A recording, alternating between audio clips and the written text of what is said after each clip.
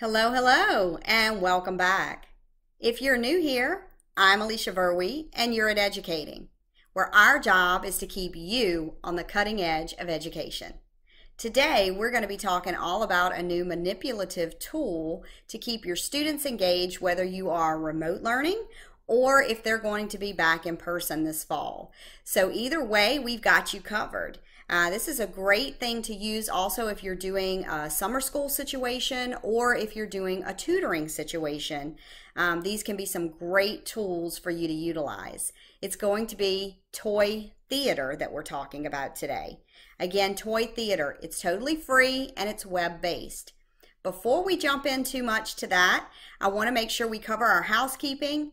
Please make sure that you hit that like button Make sure that you share this video so that other people can enjoy the wealth of knowledge that we're sharing with you.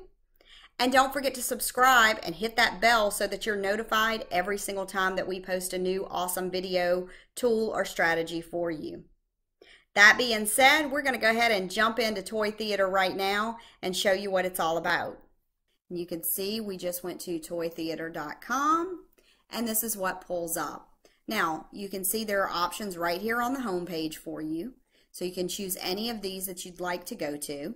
Um, I'll jump into Area Climber just so you could see what this looks like. You could see we're dealing with square roots here. And if you click on the right answer, the little guy climbs up the ladder. Um, which color shape has an area of 12 squares? One, two, three, four, five. Not that one. This one has six, so that should be right. And you see you can keep on going. Um, if you get it wrong, you see what happens. The little guy fails and he goes backwards. So their goal obviously is to get up to the coin. Um, so that's one of the games that's available. You can go into teacher tools. You can see there are tons of options here. Um, so we can go to, uh, let's say, telling time. Okay.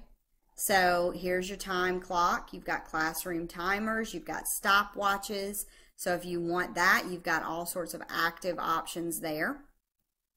Um, you can go to the spinner tool, which we know is awesome if you're trying to get kids to label a color or a number. Um, and then you can spin, have them identify the, color, uh, the number that it lands on. We have playing cards. We have dice. Um, you can go into the game mode. There's all sorts of games for the kids to play if you want something just generic like that. Let's go into reading and see what kind of tools we have available here. So you see here we have uh, hidden picture. So if you're trying to get kids to really focus on the hidden picture, we're looking for a nest. So we have to look around, we have to find the nest. So we got it right. We're looking for a shirt. The shirt is hidden there. So you can see it just keeps going and you find the items just like you would on um, those hidden picture options.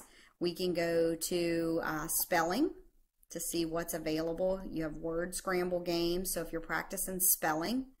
Um, and here we're looking at computer.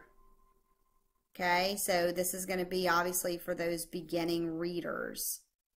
Um, bottle. Okay, so then let's go into art. You can see there's all kinds of art available. This is one of my favorites where they do the quilt and you can have them make patterns. And so they will pick the colors and fill in the spaces.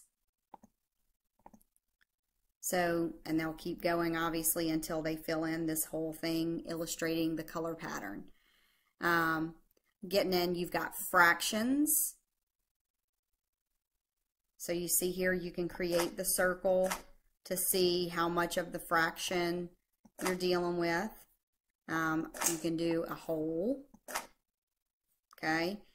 So you can do this any way that you like um, to create your your fraction. This is great manipulatives to help students out um, as far as understanding those actual concepts. So you've got place value, you've got um, calculators, I mean, you name it, it's basically here. You've got music options. You see that they do music with fractions. So there's a lot of cross integration here. So this is a fabulous website to get on. Just spend some time really um, perusing around and find what's in here that you really like. Again, this is a free tool and resource, so make sure you check it out. It's toytheater.com. And that, my friends, was Toy Theater.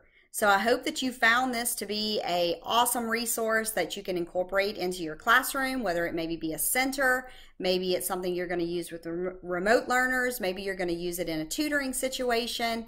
There's all kinds of awesome uses out there.